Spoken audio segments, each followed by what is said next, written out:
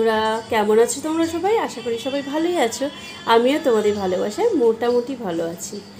তো কি খবর তোমাদের সবার? হুম? সারাদিন আজকে ভিডিও নিয়ে আসা হয়নি। তো ভাবলাম যে চলো তোমাদের সাথে একটু আড্ডা মারা যাক। তো আড্ডাটা তো মারা হয়নি, তাই না? একটু হলেও তো তোমাদের সামনে আসতেই হবে, গল্প করতেই হবে। না হলে তো আমার পেটের ভাত হজম হবে না।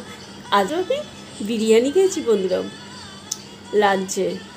তো বিরিয়ানিটা খেয়েছি চিকেন বিরিয়ানি খেয়েছি।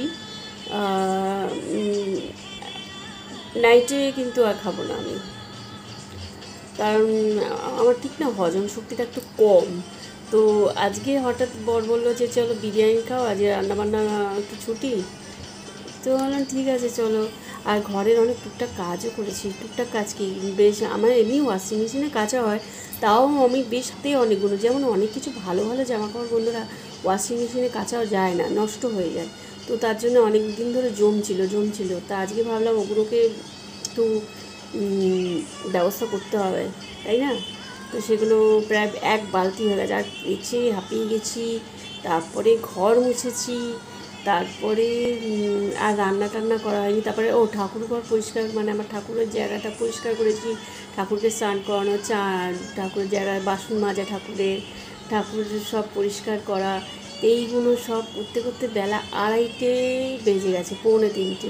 আর কখন রান্না করব বলো বন্ধুরা? এমনিতেই তো আমার রাতে ঘুম হয় না ভালো।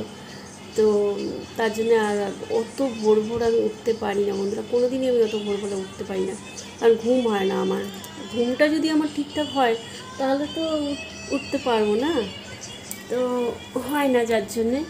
তো তোমরা এখন অনেকেই বাড়ি পৌঁছে গেছো হয়তো, বাড়ি ঢুকে গেছো। আর ডিনার এখন কটা বাজে? অনেকের ডিনার হয়েও গেছে। তো আমারও কোনো ডিনার আজকে তো করবই না বললাম। হ্যাঁ একদম আমার তো গ্যাসের প্রবলেম আছে ডাক্তার আমার ডক্টর বলেছে যে আমাকে একদম খালি পেটে থাকা যাবে।